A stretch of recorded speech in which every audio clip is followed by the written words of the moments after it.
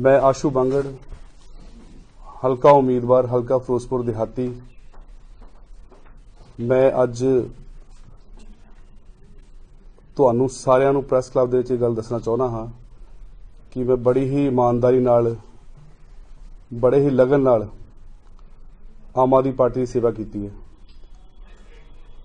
ਔਰ ਆਮ ਆਦਮੀ ਪਾਰਟੀ ਦੀ ਸੇਵਾ ਕਰਦਿਆਂ ਕਰਦਿਆਂ ਲੋਕਾਂ ਦੀ ਸੇਵਾ ਦੇ ਵਿੱਚ ਹਮੇਸ਼ਾ ਹਾਜ਼ਰ ਰਿਹਾ।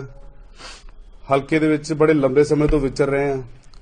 ਪਰ ਇਸ ਕਰਕੇ ਆਮ ਆਦਮੀ ਪਾਰਟੀ ਦੇ ਵਿੱਚ ਜਿਹੜੀ ਸਾਡੀ ਵਲੰਟੀਅਰ ਦੀ ਆਵਾਜ਼ ਹੈ, ਉਹਨੂੰ ਦਬਾਇਆ ਜਾ ਰਿਹਾ ਹੈ।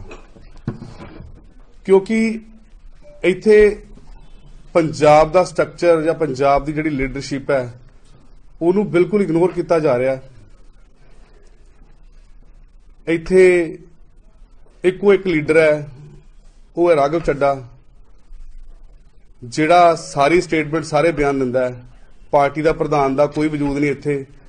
ਜਿਨ੍ਹਾਂ ਨੇ ਲੰਬੇ ਸਮੇਂ ਤੋਂ ਪਾਰਟੀ ਲਈ ਧੱਕੇ ਖਾਦੇ ਕੁਰਬਾਨੀਆਂ ਦਿੱਤੀਆਂ, ਉਹਨਾਂ ਬੰਦਿਆਂ ਦੀ ਕੋਈ ਪੁੱਛਗਿੱਛ ਨਹੀਂ। ਆਮ ਆਦਮੀ ਪਾਰਟੀ ਦੇ ਵਿੱਚ ਇੱਕ ਕੰਪਨੀ ਹੈ, ਆਮ ਆਦਮੀ ਪਾਰਟੀ ਨਹੀਂ ਹੈ।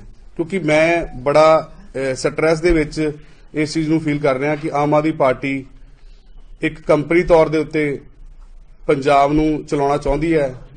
ਉਹਦੀ ਇੱਕ ਜਿੱਦੀ ਜਾਦੀ ਮਿਸਾਲ ਮੈਂ ਖੁਦ ਆਪ ਆ ਕਿਉਂਕਿ ਇੰਨਾ ਕੁ ਜ਼ਿਆਦਾ ਸਟ੍ਰੈਸ ਦਿੱਤਾ ਜਾ ਰਿਹਾ ਹੈ, ਇੰਨਾ ਕੁ ਟੌਰਚਰ ਕੀਤਾ ਜਾ ਰਿਹਾ ਹੈ ਕਿ ਤੁਹਾਡੇ ਟਿਕਟ ਕੱਟ ਦੇਾਂਗੇ ਤੁਹਾਡਾ ਅਗਰ ਤੁਸੀਂ ਆ ਚੀਜ਼ਾਂ ਨਹੀਂ ਪੂਰੀਆਂ ਕਰੋਗੇ। ਸੋ ਇਸ ਕਰਕੇ ਮੈਂ ਆਮ ਆਦਮੀ ਪਾਰਟੀ ਤੋਂ ਅੱਜ ਆਪਣਾ ਅਸਤੀਫਾ ਦਿੰਦਾ ਹਾਂ। ਕਿਉਂਕਿ ਮੈਂ ਇੰਨਾ ਡਿਪਰੈਸ਼ਨ ਦੇ ਵਿੱਚ ਟੌਰਚਰ ਦੇ ਵਿੱਚ ਕੰਮ ਨਹੀਂ ਕਰ ਸਕਦਾ, ਕਿਉਂਕਿ ਮੇਰੇ 'ਚ ਤਾਕਤ ਹੈ ਸੱਚ ਨੂੰ ਸੱਚ ਕਹਿਣ ਦੀ, ਝੂਠ ਨੂੰ ਝੂਠ ਬੋਲਣ ਦੀ।